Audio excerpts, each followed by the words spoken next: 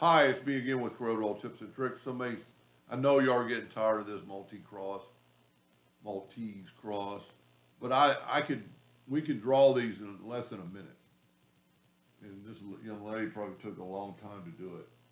So I'm going to make a circle with the smart tool and hit P just to give me about the same size. This is so easy if you remember the magical number 3654. Hit P, put it in the center of the page. Rotate that thirty-six degrees.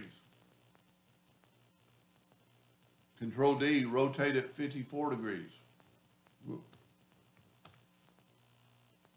It's hard to grab those two objects, but if you hold down the Alt key, you can just touch them, and then Control D and mirror them. Or I forget, there is no magical numbers. I just measured the, I, I did this on hers to find out the distance and the uh, relative from there.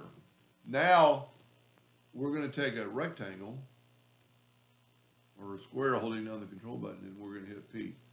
Before you do anything else, hit the plus key on the keyboard and make a copy of that because you can use it again. Because if this one doesn't come out like planned, I'm gonna hit the plus key on the keyboard and move this ellipse up. See where I'm going? I'm gonna take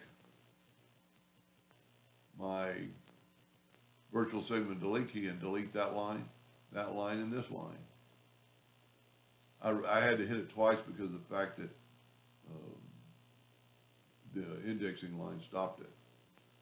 Look at our shape. I'm going to nudge that up. I'm going to left click, right click. I'm going to round off some corners. I'm going to close, actually close this Docker so people know where it is. I'm going to go to Windows, Dockers, and Corners. And see, it's already trying to do it because I've got it set on 0.06. Look at the difference. Now, take your ellipse and nudge it out of the way. Whoop, actually got the, the, the square. And then we can delete all this. One, we've got a copy of it right there. I'm gonna hit P, put it in the center page. Now, the only, there's a couple of things you gotta think about, because we're gonna be putting a half circle on top of a circle. So welding can be a problem. But if I nudge that down, and now I'm gonna make it that magical, what we've been using, three quarters of an inch line. And control D and make a duplicate and move our center rotation in the center and rotate it ninety degrees.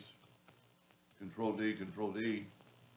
Then if you took your other shape and made it that same thickness, which was one point two five degrees, and then make it red, whoop, I hit the wrong red. Now that shows like that because it's in the back of the page, so order, front of page. And there you have it. You've got exactly what she wanted where she could make it two colors.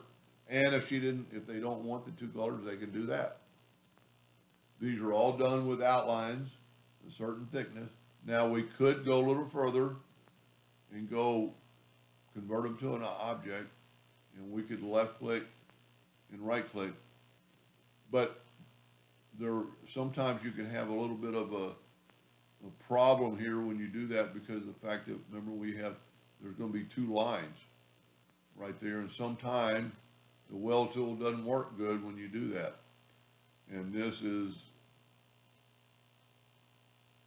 not one of them or one of them, is not one of them. It worked fine.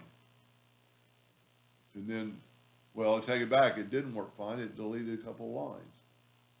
So, you know, whenever you're trying to weld, you can actually just see what's going on. Now, there's a way around that. You can take your virtual segment delete key and delete all the way around. and this is just a way around it. Um, then you just take your smart fill tool and I believe that the inside is black and the outside is red and it happens that quick and you can do whatever you want to with it. I think it looks quite good. Uh, I've made three different variations. This is a little short. Uh, this is a little taller Uh, that one might be the best one yet, but that's why I said keep this. Cause if it looks funky, do that again. Hope that helped. Thank you for watching.